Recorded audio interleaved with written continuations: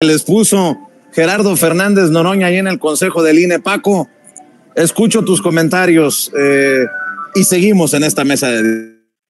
Eh, mira, solo para completar, este Vicente, hay varias cosas, pero lo primero, sí, esa esa clase conservadora, que no es Ochigalves, va, ella es un juguete, es un instrumento de grupos que están atrás de ella, grupos de magnates que son de extrema derecha, que verdaderamente tienen recursos. Es una clase eh, que nos agravió. Esa clase que nos agravió es soberbia, mentirosa, violenta, racista, vivió engañada por seis años, vivió intentando orquestar un golpe letal de Estado, algún algo que le diera o que le hiciera verdaderamente eh, golpear a López Obrador hasta abandonar, recurrieron a la CIA, recurrieron a la DEA, que son los últimos golpes de Anabel, de Tim Golden, ah, recurrieron a todo, no pudieron. Luego, el año pasado, se inventaron una candidata y están convencidos que un líder se forma en un año. López Obrador lleva añísimos y le, le llevó años, años formarse como un líder. No lo entienden, no lo van a entender y eso es lo preocupante, no lo van a entender.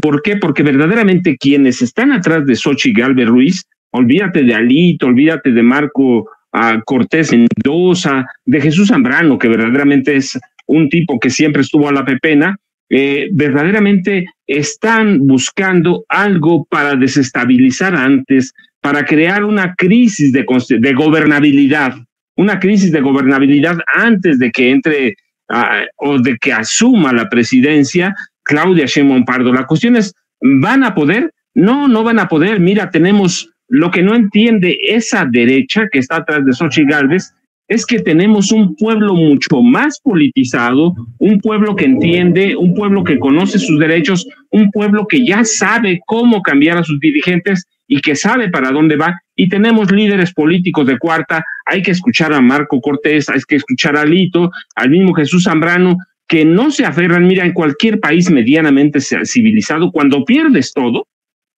te vas, te vas. Si tú trabajas en una empresa privada, cuando no da resultados, te corren a la primera. Mira, yo tengo dos ejemplos clarísimos ahora. En Sinaloa el PRI perdió todo. En el Estado de México, la entidad más poblada de este país, con 45 distritos electorales, 125 municipios, municipios el PRI ganó cinco distritos de 45, perdió 88 municipios. En Sinaloa está y no se van.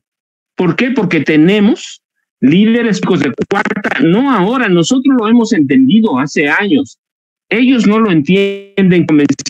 Yo siempre he dicho, si quieren un motivador, pues ahí está Claudio X González, lo dijimos también ahí, aquí los ha motivado bastante bien, están perdiendo todo, me recuerda mucho cuando yo era un niño y había boxeadores que ya les habían dado la torre, estaban en la lona y eh, le preguntaban a su entrenador, ¿cómo vamos? Y el entrenador le decía, si, si te levantas y lo matas, empatamos. Así están, así están, no entienden lo que está, lo que está pasando, no entienden lo que pasó, no entienden que la toma de decisiones se dio en otro lugar, eh, ocultaron a Xochitl en una burbuja, se olvidaron de que este país está más allá de las redes, está más allá de cualquier cosa, y la ocultaron, la cuidaron muy bien, y despertaron a la realidad y a una realidad a la que no quieren despertar. Pero eso, ¿por qué? Porque tenemos a líderes que son vivales, que son sinvergüenzas y que son abiertamente pillos.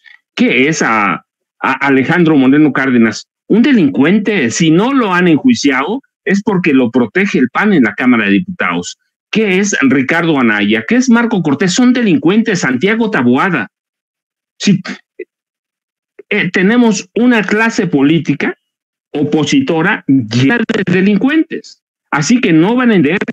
Y quienes están atrás de ellos, pues son magnates de ultraderecha o de extrema derecha que tienen un programa. Y retomo un poco lo que decía Poncho. Si se vislumbra, se avisora un nuevo, ¿quién puede formar eso? ¿Quién lo puede capitalizar? Gente que tiene mucho dinero. Así que esto es parte de eso. Ya se los dijo Lorenzo Córdoba, no hay fraude. Ciro Murayama también lo dijo ayer, no hay posibilidad, no hay elección de Estado. Hay que ver lo que dicen los observadores internacionales que vinieron también. No hay fraude, no hay posibilidad. Fue una uh, elección ordenada. ¿Van a entender? No van a entender. Pero mira, yo digo mejor, lo, lo, lo que mejor podemos hacer es eh, recorrer los tiempos que lo dijimos en Sin Censura hasta el 8 de septiembre, divertirnos un rato, estar vigilantes y entender o seguir de cerca lo que va a ser el equipo de Claudia Sheinbaum Pardo, que a ella le corresponde verdaderamente comunicar como lo hizo Andrés Manuel López Obrador, como lo ha hecho y lo va a hacer hasta el último día de septiembre, ella tendrá que encontrar las formas, tendrá que, que, que buscar cómo equilibra la forma de hacer política con la forma de llegar a todo el resto de la gente, incluido a quienes no votaron por ella. Este, nos van a seguir ofendiendo. Mira, yo ya estoy acostumbrado a no sé cuántas cosas me dicen por redes, a veces también en la calle, pero bueno, pues tenemos que acostumbrarnos y nos tenemos que acostumbrar así y estar pendientes a en los próximos seis años, porque así va a ser. Así va a ser. Para ellos vamos al comunismo, pues bueno, dejemos lo que sigan diciendo. Finalmente, por seis años estuvieron haciendo ruido, llegaron las elecciones, lo dijimos aquí, Claudia tiene 80% de posibilidades, de probabilidades de ganar, uh, ganó, bueno, pues van a estar así otros seis años. ¿Por qué? Pues porque es una clase que sí tiene un voto duro, hay que reconocerlo, son millones, son millones, pero hay que convencerlos y hay que esperar que hagan muchas cosas, pero el trabajo lo tiene que hacer Morena, sus líderes y algún trabajo que hacemos nosotros por nuestro lado. ¿Para qué? Para que la gente esté informada e informada bien. Lo otro, pues hay que aguantar y primero esperar hasta el 8 de septiembre o todos los recursos que quieran interponer, pero después de, del 30 de agosto no pueden interponer nada. ¿Por qué? Porque la calificación eh, se tiene que entregar el 8, el 8 de septiembre y el, el día primero de octubre tiene que tomar posesión Claudia, Claudia Sheinbaum Pardo. Así que hay que esperarlo y lo otro solamente estar vigilantes, Vicente.